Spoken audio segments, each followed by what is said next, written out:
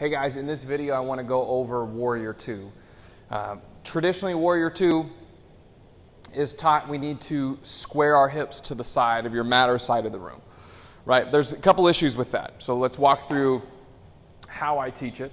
So with Warrior 2, I get in as deep of a stance as you want to be in. Right? Front knee right over the heel. Heel to heel alignment. Right? It can be a little bit different what, uh, you know, work what's comfortable for you. But I want my toes facing 12 o'clock. I want my back foot in the same direction as my kneecap. Right? Because if my foot is not in the same direction my kneecap, when I pull my feet together, I feel a lot of strain to the inside of my knee. When I adjust the angle so it's going in the same direction as the kneecap, when I pull, I get an equal kind of stretch across the inner thigh, the calf, along the knee. Okay? So toes in the back in the same direction as the back kneecap. Left knee over left heel. Hip points lifting up. I'm going to press into my right foot, all three points of contact down. Squeeze the right glute, squeeze the right quad, firm them up. And then I'm going to take a look to the inside of my left knee. If I cannot see the big toe to the inside of the knee, I'm going to take this back hip, so in this case, right hip, forward and down so that knee tracks towards the baby toe. Now I can see the big toe to the inside.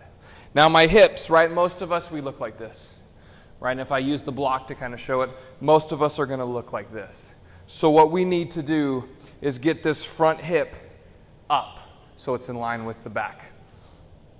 So to do that, just straighten out the left leg just a little bit.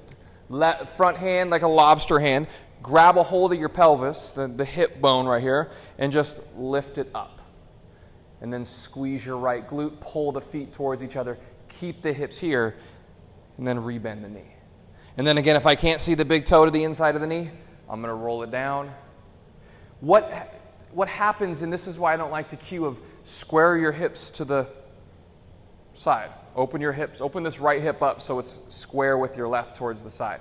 The problem with that is the hips are circular. And when you close off or open up one side, you close off the other. So as you can see, as I roll this hip open, this knee tracks this way. When I close the knee, this hip off, the knee goes this way.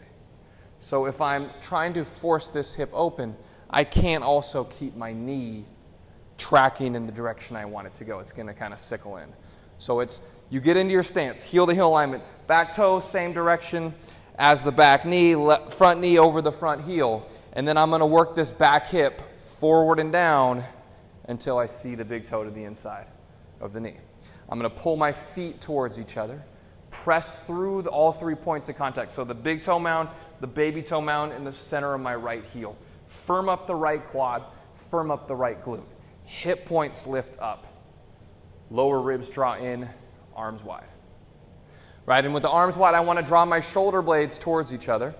But at the same time, I want to reach the arms away from each other. I'm going to feel my back muscles. Another way to kind of get the back engaged is to reach your arms up, palms face forward, make fists, and then imaginary resistance, draw the elbows slightly lower than the shoulders. Keep that engagement, straighten out the arms. And it does the same thing when you draw your shoulder blades towards each other, but you reach your arms away from each other. Notice though the lower ribs want to flare out, pull them in. Right? We're not, we're not trying to stick our butt out in our warrior two. We want to lengthen it in, lengthen it down, hip points up. Stretch it wide. Shoulders over the hips. We're not leaning here. We're not leaning here. Right? We are here. Feet pull towards each other. Right hip a little forward and down. Left knee to the towards the baby toe, towards the third toe. This hip, not like this, in line with each other. Squeeze this right quad, energy through the fingers, but draw the shoulder blades towards each other at the same time. Okay, hope these, in, hope these kind of adjustments help you. Again, it, this cue of squaring the hips to the side, it doesn't work because this knee moves. Now, is there somebody who can take their hips and just whoa, open up, knee going right where you want it? Yeah, but most people know, right? We need to stop getting our bodies into certain poses, we need to get the poses into our bodies. So that right hip forward and down, see the big toe to the inside of the knee, arms reach wide. Hip points lift up. Arms stretch, shoulder blades towards each other.